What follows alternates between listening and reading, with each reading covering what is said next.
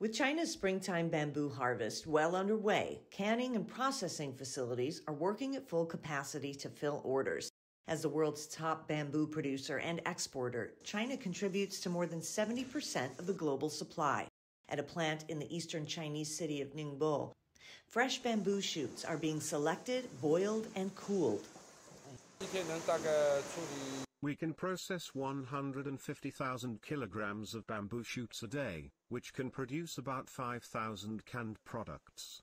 Local customs officials say water boiled bamboo shoots are mainly exported to Japan, while frozen bamboo shoots are more often exported to the UK, Australia, the US, and Canada.